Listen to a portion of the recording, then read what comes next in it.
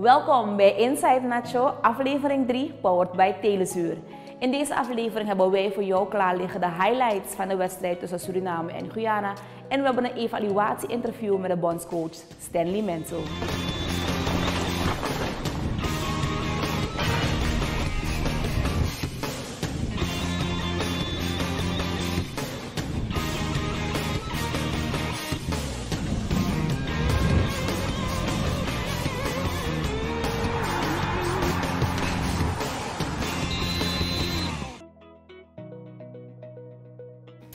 Afgelopen week heeft Suriname meegedaan aan een vriendschappelijk interlandtoernooi.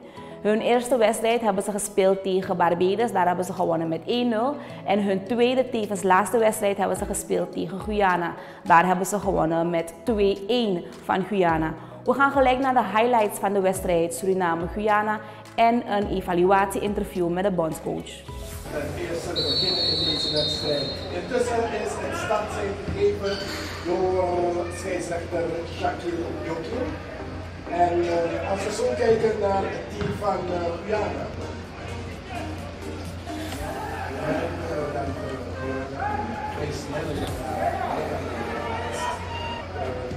Aanval kijken.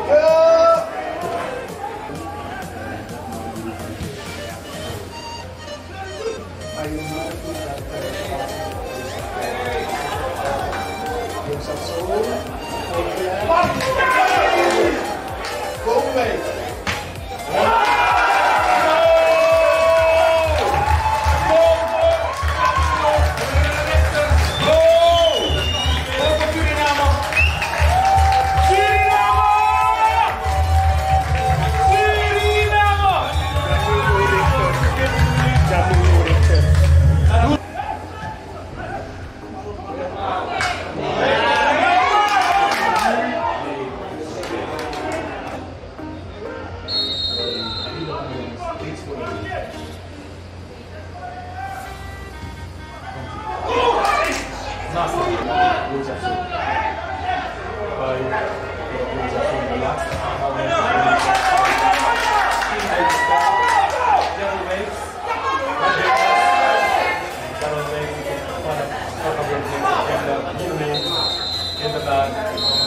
helft gespeeld is.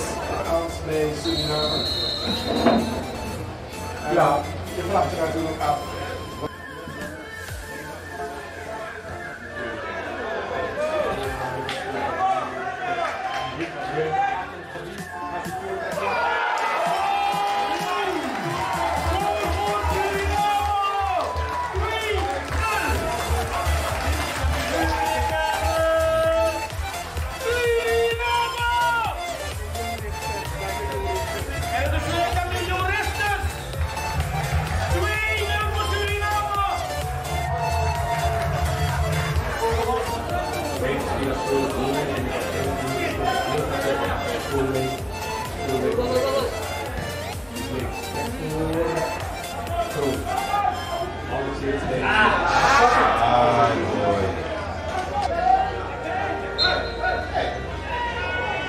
Goede fase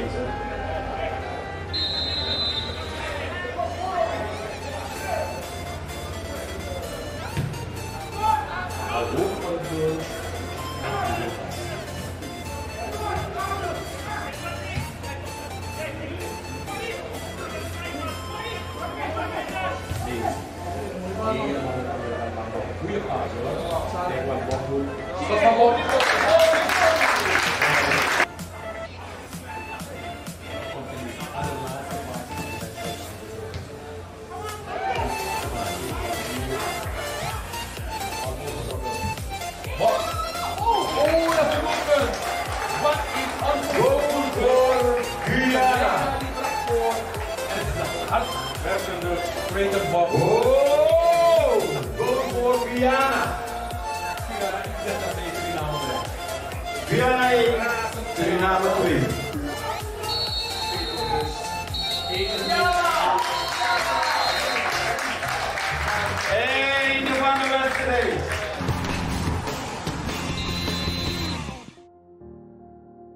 En Stanley, welkom terug in aflevering 3 van Inside Nacho. Het was een droom om Suriname te coachen. Is het geweest zoals je had verwacht? Um, ja, qua overwinningen natuurlijk wel, ja. Je, je wil graag beginnen met, uh, met winnen, want dat is belangrijk in het voetbal. Uh, qua voetbal kunnen we nog uh, enorm veel stappen zetten, maar dat, is een, dat was te verwachten. Ja, die lokale jongens hebben bijna um, geen wedstrijdritme in de benen. Ondanks dat hebben ze het heel, um, heel goed gedaan. dus al met al wel tevreden, ja. ja. We gaan het hebben over de wedstrijd Guyana. Um, er ontstonden kansen. Hoe ontstonden die kansen die Guyana gecreëerd heeft? En baart dat je zorgen? Nee, het baart me geen zorgen. Um, in de zin dat het, niet, dat het pas de eerste keer is dat we zo hebben gespeeld. Kijk, als dit regelmatig terugkomt, dan gaat het je zorgen baten. Maar uh, deze jongens hebben heel veel informatie uh, gekregen de afgelopen dagen van ons. Wat wij willen, hoe we het willen. En dat moeten ze ook verwerken. Ehm, het beste is het om te verwerken in een wedstrijd en daar kan het ook misgaan. Hè. Dus je ziet dat sommige dingen nog niet helemaal duidelijk zijn. Sommige jongens moeten nog op elkaar ingespeeld raken. Uh, wat wij vragen, bijvoorbeeld in balbezit of bij balverlies, dat moet ook nog voor hun duidelijker worden. Um, ja, en dan zie je wat slordigheidjes, slordigheden volgens mij is het, uh, zie je ontstaan. Maar dat is onderdeel van het proces, dat is een onderdeel van het voetbal. In het interview na de wedstrijd heb je aangegeven dat je met drie man moet gaan opbouwen. Is spelen met drie centrale verdedigers iets waar, waar je over nadenkt? Um, dat is een, een formatie waarin uh, veel, uh, veel clubs spelen tegenwoordig. 5-3-2 of 3-5-2, uh, hoe je het wil noemen. Maar in dit geval had het puur te maken met uh, de manier waarop um, de tegenstander ons onder druk zette. Kijk, als je met uh, vier man achterin speelt en de tegenstander speelt met uh, twee centrale spitsen, dan um, is het makkelijker opbouwen met drie, drie centrale verdedigers. Dus dan moet iemand van de zijkant, een back, een linksback of rechtsback, moet door. Of je laat alle twee backs door naar het middenveld schuiven. En je zorgt dat je een, een middenvelder tussen je twee centrale verdedigers krijgt. Um, als je achterin um, 4 tegen 2 speelt in dit geval, dan kom je op het middenveld een man tekort. Ja, dus zo moet je het zien dat je um, een evenwicht bewaart in je formatie. En soms is het met drie man opbouwen, soms met twee of vier man. Dat hangt af van hoe de tegenstander jou onder druk wil zetten. Kijk, deze window hebben we gebruikt om, om uh, de organisatie van, uh, van het team uh, en alles eromheen om dat duidelijk te maken en te krijgen. Weet je, je moet, um, je moet ergens beginnen en dan moet je je organisatie neerzetten. En daar hebben we deze window voor gebruikt. We hebben helaas niet gebruik kunnen maken van veel um, diaspora-spelers. Omdat wij ze um, bij een club hebben gelaten. Sommigen die bij een club konden blijven, hebben we bij een club gelaten. Omdat de clubs nog speelden. Um, de volgende window willen we ons echt gaan richten als voorbereiding op, op de Nations League. Ja, dus we zullen dan veel meer gebruik gaan maken van de diaspora-spelers. We kunnen en mogen ze ook dan opeisen. Dat mochten we nu ook, maar het was niet zo belangrijk in de zin van uh, je, je, je, je, je, je moest niet gelijk presteren, je wilde gewoon je organisatie neerzetten. de volgende window staat in teken van uh, voorbereiding naar de Nations League toe. Dus gaan we die spelers wel opeisen. En willen we eigenlijk, en dat is de bedoeling, dat we een goed trainingskamp organiseren. met één goede wedstrijd om ons zo klaar te maken voor, voor de Nations League in mei en juni. Jamilio Richters, je zei dat hij de aandacht kan trekken van Europa. Wat zullen zijn volgende stappen moeten zijn? dat hij uh, net zo moet presteren uh, als de afgelopen twee weken. Of de twee, twee wedstrijden. Het is niet zo dat je twee goede wedstrijden speelt en dat je gelijk um, de man bent. Je moet elke week, wat ik net al aangaf, op dat niveau, weer op dat niveau gaan acteren. In Europa moet je elke week, elke training moet je, moet je presteren. dus we moeten niet gelijk um, de jongen op een voetstuk stuk plaatsen, hem onder druk zetten dat hij het betaald voetbal in zou kunnen. Hij heeft de potentie.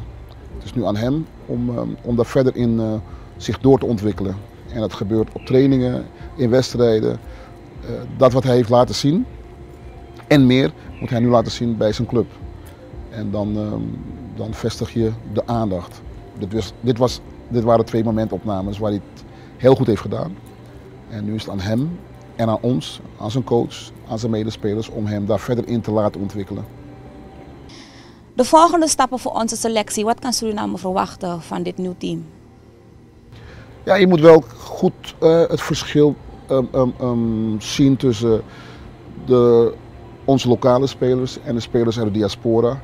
Die jongens zijn natuurlijk veel verder uit de diaspora. Die, zijn, die spelen op een hoger niveau. Die spelen en hebben eigenlijk de afgelopen twee jaar gewoon doorgespeeld.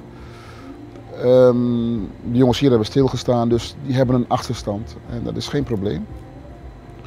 Maar als je morgen moet presteren, ga je natuurlijk met de spelers moeten spelen die uh, fit zijn, die al, uh, al meerdere malen 90 minuten in hun been hebben, die op een hoger niveau presteren. En de rest moet zich verder gaan ontwikkelen. En dat is eigenlijk wat je wil en verwacht van de spelers um, hier in Suriname dat zij zich verder gaan ontwikkelen aan de hand van mij, van mijn staf, eh, van de spelers eh, waarmee ze gaan spelen. Sommige spelers zullen, zoals afgelopen week, met eh, diaspora-spelers spelen. Daar moeten ze, zich, moeten ze zich aan optrekken. Goed luisteren, goed kijken.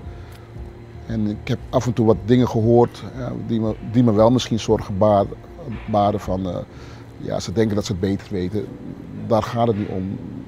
Je probeert iets mee te geven wat je hebt gekregen en die ervaring probeer je mee te geven aan mensen die die ervaring niet hebben. En zo moet men dat zien. Van mijn kant, van spelers hun kant.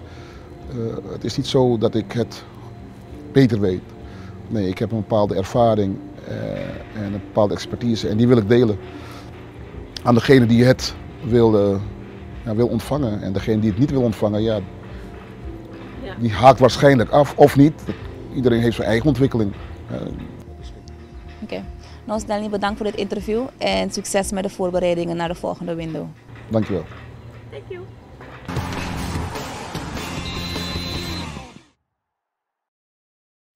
Dat was het voor aflevering 3 van Inside Nacho.